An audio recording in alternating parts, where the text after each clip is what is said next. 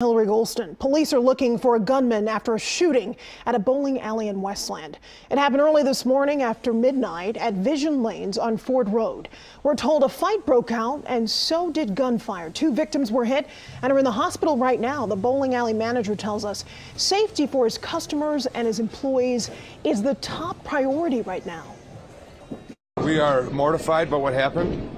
We are shocked and uh, we are just taking every measure possible. We're erring on the side of caution right now, and there will be no guns in here, no weapons in this place ever again.